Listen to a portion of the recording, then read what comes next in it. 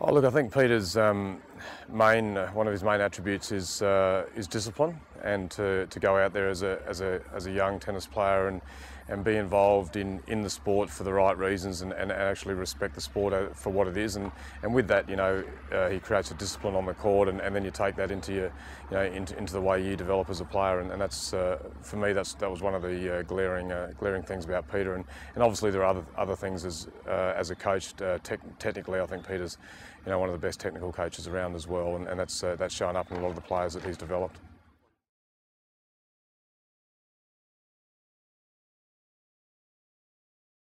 As a coach, you, you must, uh, if you've got some talented athletes, you, you know, you, you need to produce a, um, a knowledge of belief to, uh, to, them. You've got to you let them know that you do believe in their ability to succeed. Not everyone, everyone's on a different scale of, of ability and, and different attributes. And, and Peter was, you know, is quick to acknowledge and uh, acknowledge that in an athlete. And then he would, he'd be, um, you know, very very straightforward in delivering that message and, and, then giving you that belief to keep pushing yourself and, and getting a little bit extra out of yourself. And, and with that, I think there's a very good synergy between player and coach. And, and, and that's why, as, as I said, there's been a lot of people in his stable that uh, have, have gone on and taken on the ATP Tour.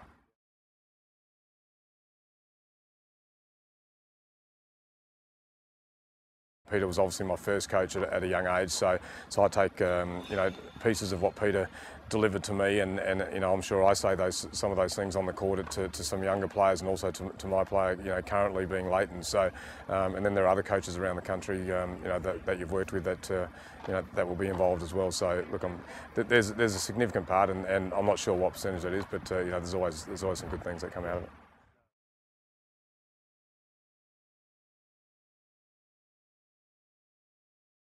Look, South Australia's had a very strong, um, passionate tennis background, and it's it's, it's gone a, way way beyond uh, the years of, uh, of myself or John Fitzgerald or Peter Carter or um, Brod Dyke, uh, Mark Woodforde, those those type of guys. that sort of way back there. So it's got a, it's had a very strong tradition with Lleyton now emerging as you know our best player uh, of all time coming out of this uh, state. We all we all sort of ride, I suppose, on his coattails and, and, and, and love the ride. And, and when we see him go out there, produce it with with a passion, and, and so that's why I think we're all passionate about it, and, and we're about we're passionate about his success, and we'll help him in uh, in getting a result, you know, as, as well as well we can. And and I think with that, you know, the whole of our state, South Australia, do absorb themselves in his in his in his passion. He shows it on the court, and he's very passionate about it. And uh, it's, it's, it's, very hard not to uh, for not for that to become really infectious. And and with that, you know, he brings a lot, lot of people along with him.